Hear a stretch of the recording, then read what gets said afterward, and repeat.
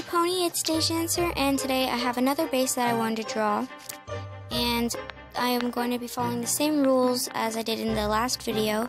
So the rules are down in the description. The bases that are open are 1, 2, 3, 5, and 6. Um, 4 has been taken by myself. Um, for this one, you are going to have to make sure that I have a good picture of uh, your cutie mark. Um, but I think it should be good. If I can't get good pictures of everyone's cutie mark, I won't put anything in the back. But this is for what my cutie mark is telling me.